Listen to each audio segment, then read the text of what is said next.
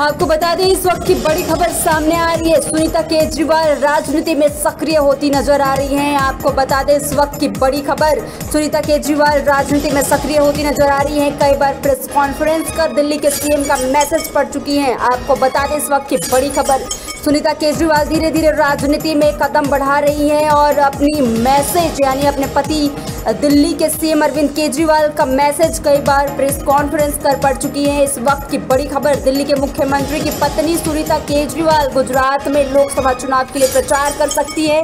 आपको बता दें, इस वक्त की बड़ी खबर, आम आदमी पार्टी 16 अप्रैल को गुजरात में चुनाव प्रचार के लिए लिस्ट जारी कर चुकी है। चुनाव स्टार प्रचारकों की लिस्ट जारी कर चुकी है। बताया जा रहा है, इस वक्त की बड़ी खबर, इसमें सुनीता केजरीवाल का भी नाम हो सकता है।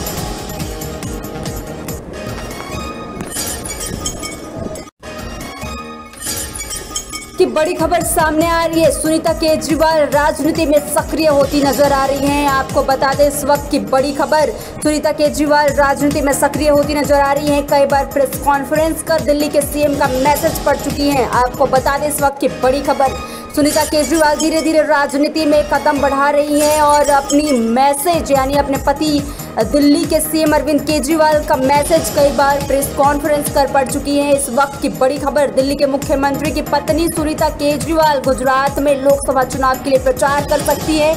आपको बता दें, इस वक्त की बड़ी खबर, आम आदमी पार्टी 16 अप्रैल को गुजरात में चुनाव प्रचार के लिए लिस्ट जारी कर चुकी है। चुनाव स्टार प्रचारकों की लिस्ट जारी कर चुकी है। बताया जा रहा है, इस वक्त की बड़ी खबर, इसमें सुनीता केजरीवाल का भी नाम हो सकता है।